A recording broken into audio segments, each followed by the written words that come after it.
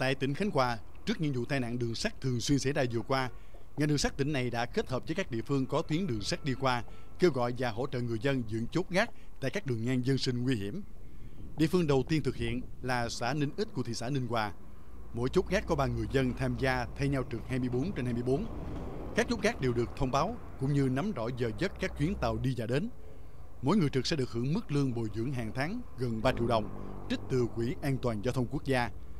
Việc lập những chốt gác dân sinh tuy được coi có hơi chậm trễ, nhưng cũng bắt đầu mang lại sự yên tâm cho người dân.